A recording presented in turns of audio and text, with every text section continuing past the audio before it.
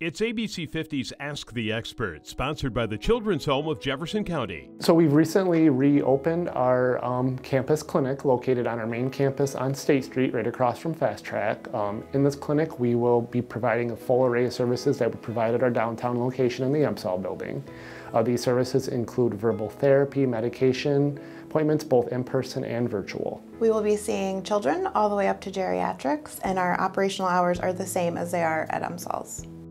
We do not turn anybody away based on the ability to pay. Um, present your insurance card at the time of service. If you have questions about your insurance coverage, feel free to reach out to our front desk at 315-782-7445.